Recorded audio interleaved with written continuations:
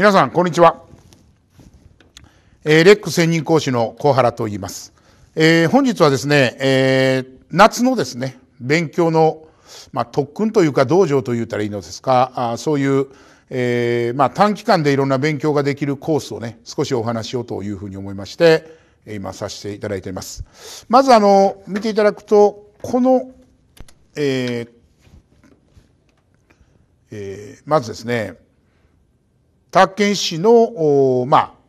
小原流合格プラチナパックというふうに名前がついてるんですが、まあ、プラチナパックですからパックです。これ全部で17回ということで、えー、まあ全部いろんなものがついてるわけですね。まあイメージとしてはマクドナルドのバリューセットをイメージしていただくと、おまあいろんなものがついて、えー、ポテトとかジュースとか意味がついての値段だということで、えー、まあここにずっとね書いてあるんですが、で、その、まあその合格のプラチナパックに入っているものがこう書いてあるのでちょっとお話をさせていただきますと、まず一つ目が、この、まあ一番いつも多い、たくさん受けていただいている、まあこのお盆一日で、えー、まあ、宅建のその品質数字。これね、宅建試験ってこう覚えなあかん数字ものすごく多いんですね。で、これを、まあ一日で全部やりましょうと。いうことですね。まあ、あの、時間としてはここに書いてます。朝10時から始まりまして、えー、まあ、あの、5時半ぐらいまでと、夕方までということです。で、基本的にはここに書いてます、時間がですね、権利関係がまあ一番最初。ちょっとあの、ね、聞くのに一番、なかなか疲れますんでね、まず一番に。これ大体90分。で、まあこれも90分。用法。で、制限と。で、最後税ということなんですが、まあなかなか90分見るのはしんどいという方も多いんですが、ただあの、後で聞くとね、通常の授業よりだいぶあの時間が経つのが早いと言われる方が多いですね。で、これはなぜかというと、これはあの、まあここにも書いてますけど、アニメーションと言いまして、まあパワーポイントを使って、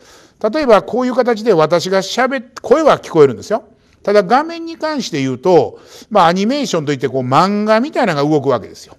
とすると、まあまあ、えー、ピクチャーで見てるんで、あの映画館で映画を見てると、まあまあ2時間の映画でも2時間半でも結構早く経つのと同じで、あ、もう終わったの？みたいな感じなんですね。で、またその図柄で勉強してますので、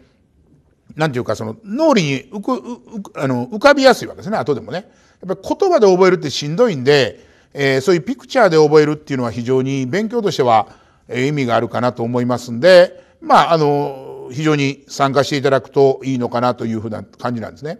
で、やはりこの日にちがお盆なんで、これはあの、例えば一般の方もそうだし、不動産の方も結構休みなんです。だから参加される方も非常に多いということで、まあ、タイトに、まあ、やっていかないといけないかなと思うんですが、ただ、あの、今年の場合はですね、まあまあいろんな、あの、こともあるので、この実はですね、これ今、フォローなしっていうのはここにちょっと申し訳ない。出てるんですが、これもうなくなってるんですね。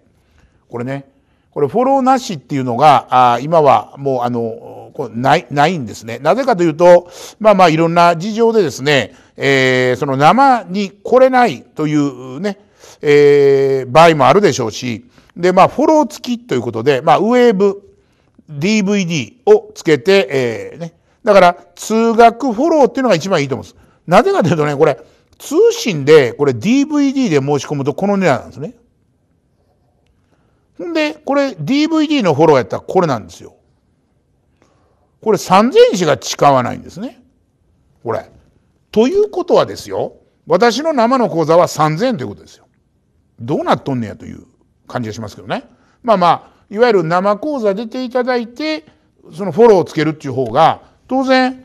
お得なんですよ。なんでやったら映画一遍見て後でも見てもらえるというね。これはまあ、それはあの、来てから見たらいいんですけども、ただ出れるならば、まあね、生もっていうのが、あの、通学フォローっていうのが一番メリットがあるのかなとは思いますけどもね。まあまあ、これが一応そのパワーポイントで、えー、まあ改正もね、えー、民法も当然改正されてるんで直さないかんのでね。まあまあ改正してるところとか、もう使えないのもありますんでね、柄をね、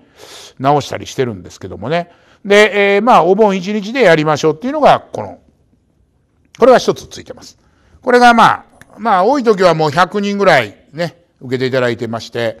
ただまあ毎年そうなんですが、あの、私は今関西におるんですが、全然知らない方でも受けていただいてるんですよ。沖縄の方とかね、が申し込んで、この場合は通信だけなんですが、なかなか関西まではと。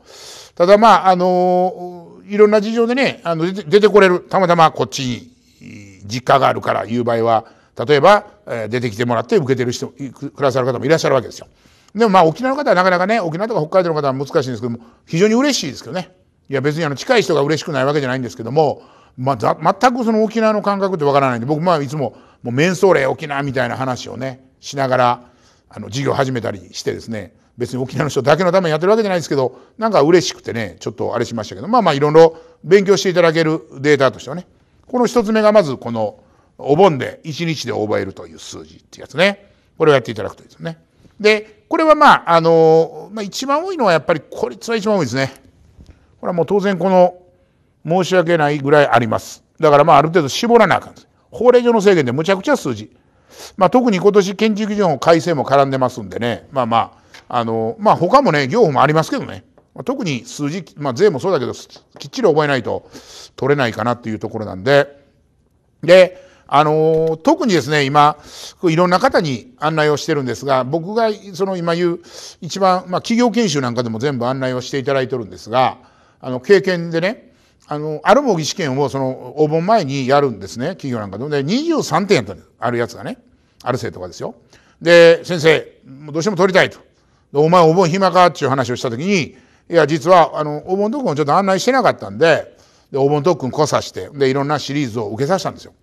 そうすると、最終的に38点で合格したんですよ。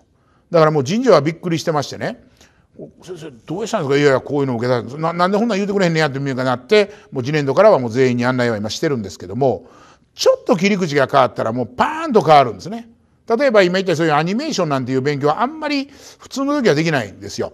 通常の授業でも使ってないわけですから、まあ、いわゆるそういう動きがね目目で動いて動画が残ってるとですねできるようになるっていうのはねちょっと切り口が変わるとね特に数字はでも覚えなしゃあないんでその覚え方を丸覚えするのはしんどいんですね。そういうのを使っていただくとこの今言いましたこの1日で覚えるっていうのは非常に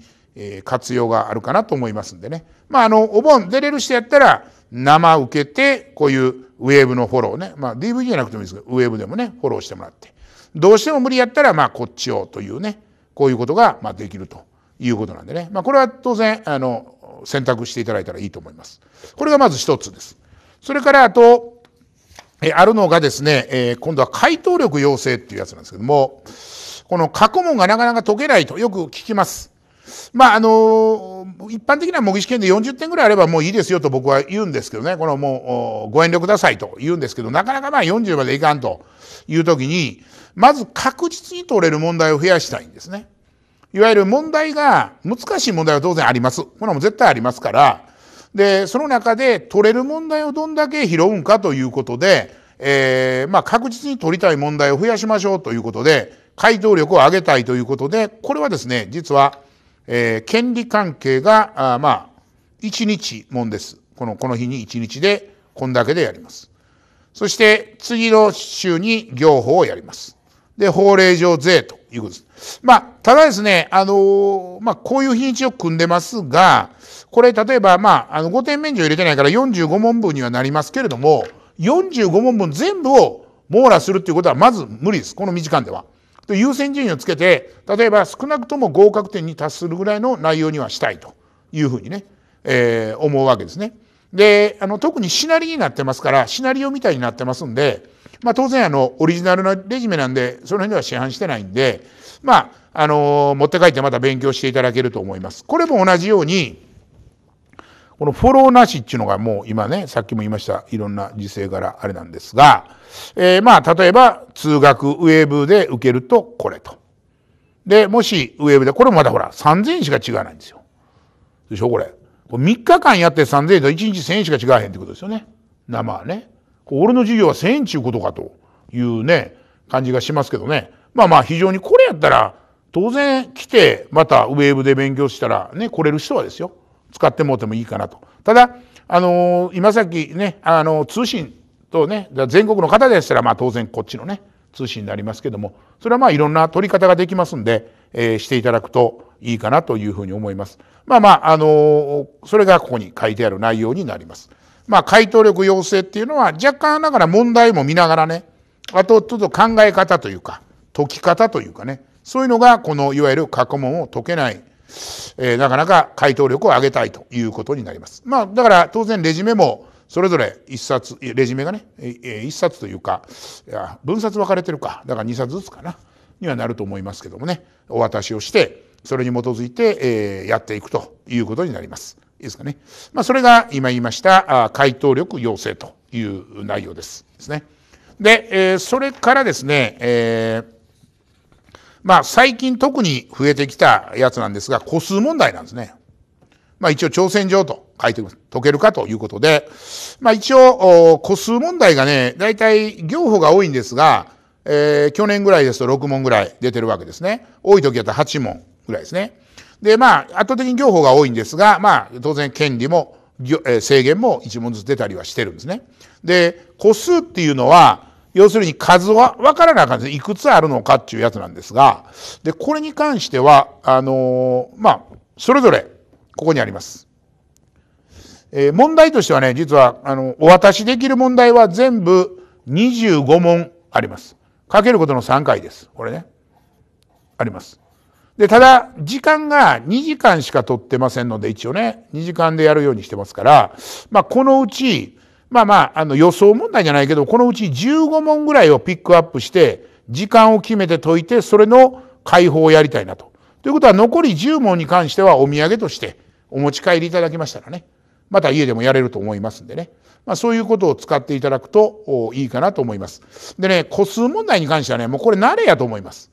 で、あんまり過去問も少ないんですよ。なかなかないんですね。で、過去問題がなかなかないと、やっぱりこう見たら、うわっていうふうな人が多いんですよ。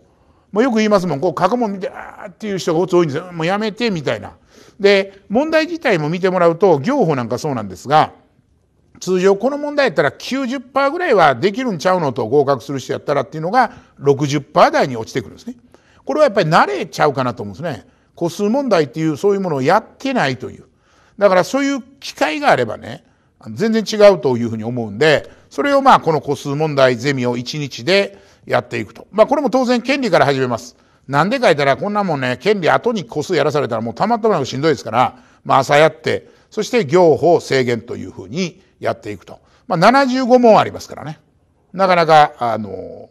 まあまあボリュームっていうか、まあ当然問題はね、オリジナルでそんな個数問題そんなありませんから、過去問でもありませんからね、まあ、直して、えー、また皆さん方に解いていただきながらやるということになると思います。これも先ほど言いました、これがもうちょっとなくなってきてるんですね。さっきも言いました事情でね。で、えまあ、あの、通信受けられる方でしたら、この、これでいけると。一般価格です。学校の人やったらこんなんですけどね。少しね。で、まあ、あの、生のフォローとかになると、この辺でね、こういう形になりますね。まあ、こんな形で、えー、受けてもらうといいかなというふうに思います。個数問題ですね。これは9月の13日生ですね、えー、実施されますので、まあ、生がね、えー、受けながらまた後で持って帰ってやるということもできますからね、まあ、やっていただくといいのかなというふうに思います。これがまあ、今言いました個数問題、9月13日ですね。で、それから、これですね。えー、っと、メンタル道場っていう、まあメンタルという言い方をしてます。あの、これまあまあメンタルっていうのはなぜかというと、まああの、究極言うとですよ、宅建の合格できるかできひんかっていうのはもう最後はもうここ、もうこ、胸、もうこ心、いわゆるハートなんですよ。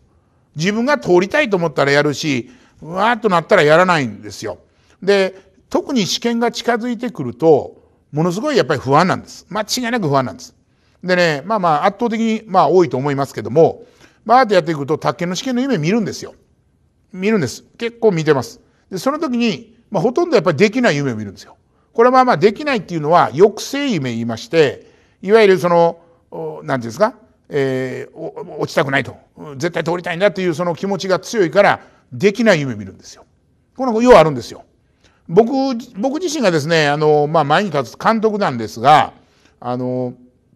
受講生の方が毎年ねあの、受けていただいてるんですけども、もう試験前になると僕でもやっぱ夢見るんですよ、実は。例えば、あの、問題を見たら、例えば、宅建業法の問題が白紙やとかね。ええー、みたいなこと思うわけですよ。追われてくるとね、気持ちの中でですよ。で、まあその、なんで白紙や言うたら、そこにね、ちょっと試験会場から出てオリエンテーリングして、そこを解読して業法をね、解いてから帰ってこいみたいな、なんかそんなんなんですよ。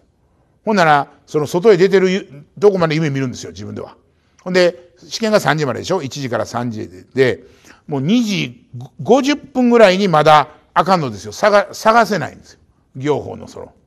もうあかん、帰れないっていうのがなんか、うわー言うて、なんか目が覚めるとかね。そうすると、ね、それとか、あの、例えば、あの、パッと問題を見たら、あの、文章が全部ハングル文字やとか、英語やとか、こうやったことない、わからへん、解けないわ、みたいな、を見たりとかね。そんなんありえんやろというようなことが、あの、気持ちの中でね、やっぱり追われてくるとあるんですよ。で、やっぱり夜が寝られへんとか、夏ね、ご飯食べれへんとか、やっぱりこう、プレッシャーをね、やっぱり人生において宅建試験の勉強って、やっぱほんま社会人になってこんな勉強したんかいうぐらい多分してると思います、みんな。適当にちょろちょろでは通らないでしょうね、多分ね。でもまあ、あの、まあ、国家試験の中では、通りやすい部分っていうか入門的にあるから大衆科目で二十何万とかも受けはるわけですけどもまあそうは言ってもそんなんちょろちょろっていうよくねあのー、企業研修のね部長なんかが毎日で話するんですよ。いや俺は過去問を1週間見て通ったんだやってくれと言いたいんですよ。1週間で通るかとそんなもんそんな簡単に全部読まれへんかなというぐらいまあそういう言い方をするんですよ。でもやっぱりそれぞれみんな追われてくると。いうと、その最終的にやっぱりどうするのかというところで、この一応あの、まあ100%力出したいわけですよ、それは。絶対ね。例えばこれでやっとしたらもう自分の中では納得ですよ。それは合否は最後にね、ついてくるんですけども、いや、俺はやりきったと。今年は自分の思う通りやったんだというんやったら、それはそれでよしやと思うんですね。しかし、いや、思うより力出せませんでしたいうのはなんか自分の中では、なんか不完全燃焼っていうね、やっぱり100%っていうのはやっぱりその燃え尽きれるっていうね、この辺が強いんじゃないかなと思うね。で、まあ、あの、まあ、ここはまあ、1時間ぐらいでもう終わろうと思ってます。で、これ一応、まあ1週間前なんで、1週間前の、いわゆる、まあ7日間あるね。7日間どうするのという。7日間。1週間前からやっぱりちょっと自分の中でこういろんなことを気持ちの上でもそうやし、勉強の仕方も、この7日間どうしますの？と。で、当然、えー、1日前、前日もあるわね。で、当日もありますよね。で、やっぱり戦い方ってあるんですよ。やっぱり。で、その戦い方を失敗してしまうと、こう、ちょっとつまずいてしまうんですね。だから、その持っていき方なんかもやっぱり必要なんで、もうこの時期が一番ということでね。だからまあ、あの、水曜日しか当然出れない方もいらっしゃるんで、えー、まあ、あのね、これも生の話を今してますけども、おまあ、えー、っと、水曜日のね、この時間帯で、そういったらまあちょっと4日前ぐらいなんですけどね。まあ当然その分に関してはもう先取りというか、えー、収録をしております。で、えー、まあこれも当然フォローなしっていうのがないんですが、当然ね、ここで聞いてもらったことをまたね、えー、聞いてもらってもいいだろうと思うんで、例えばまあフォロー付きでこの辺の金額がそれぞれね、こう出てると思いますけどね。まあだから当然あの関西にいらっしゃらない方やったらまあこのこれとかこれでいいわけですけどね。まああの関西で出れる方はこういう生も含めて考えてもらうとね、まあ、全然勉強の仕方がちょっとね見えるとせっかくこうやってきたことの100%出せたら戦えるのにね50%やっていうのはもったいない話ですからそれをまあやるということですね。でまあいろいろとこう見てきてもらってこういう金額をここにねこの例えばえー、100%やったらこんなんとこ値段ね、この辺こう出てるわけですよね、先ほど言いましたように。で、えー、例えばここもさっきちょっと見ましたけど、こういうふうなのが出てると。これね、これ、えっ、ー、と、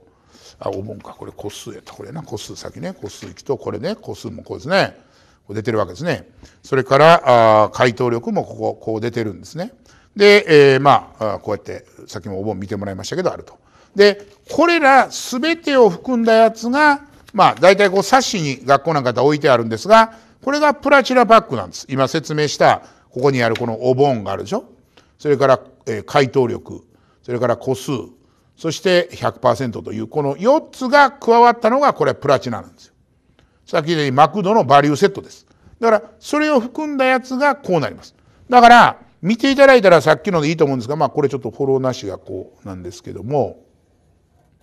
ちょっとあれなんですかね。あの、まあ間違いなくこれ全部含んで受けてウェーブフォローでもこんだけなんですよ。でさっきの全部足していただくと当然もっと高いはずです。これはまあさっきも言いましたようにマクドナルドのハンバーグをですね、ハンバーガーだけ買う、ポテトを買う、ジュースを買うというバラで買うと絶対高いです。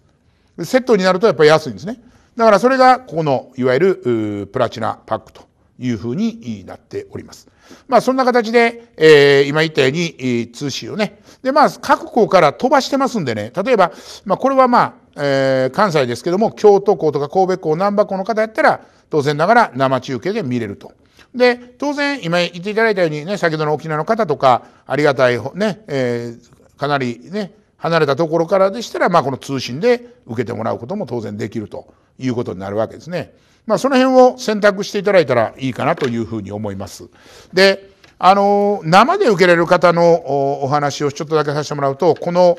特にこの個数、あの、お盆なんですけどね、このお盆の1日っていうことで、これまあこの日に実施するわけなんですけども、これあの、あんまりこう、ぎゅうぎゅうに入れるのはちょっとやっぱり難しい時代になってますんで、若干こう余裕を見て、えー、まあ、まあ参加していただくというふうな形になるかなと思うんですね。で、